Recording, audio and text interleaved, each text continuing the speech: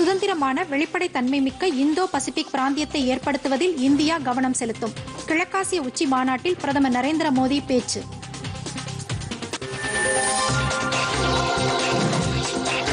ஐந்து நாள் பயணமாக இத்தாலி மற்றும் பிரிட்டனுக்கு பிரதமர் நரேந்திர மோடி இன்று பயணம். ஜி இருபது உச்சி மாநாட்டில் பங்கேற்கிறார்.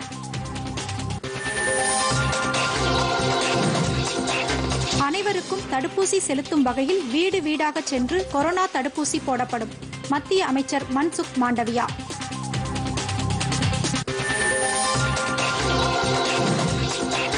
இருபது நூற்றாண்டுகளுக்கும் மேலான பாரம்பரிய கலாச்சார வரலாறு கொண்டது தமிழ்நாடு மத்திய இணையமைச்சர் எல் முருகன்.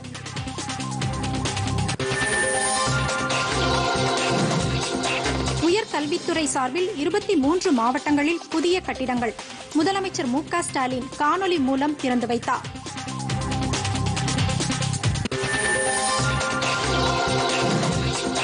அணு ஆயுத ஒப்பந்தம் குறித்து நவம்பர் மாதத்திற்குள் பேச்சுவார்த்தை நடத்த தயார் ஈரான் அறிவிப்பு.